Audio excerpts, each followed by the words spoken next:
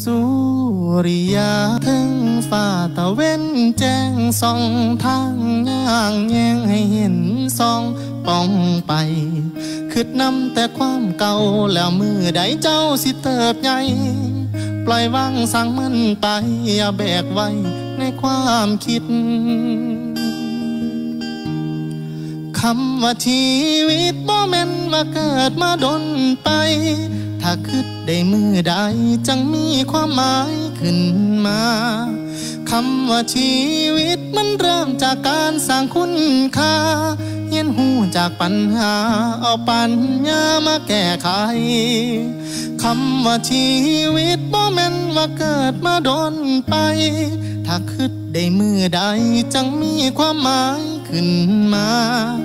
คำว่าชีวิตมันเริ่มจากการสร้างคุณค่าเห็นหูจากปัญหา เอาปัญญามาแก้ไข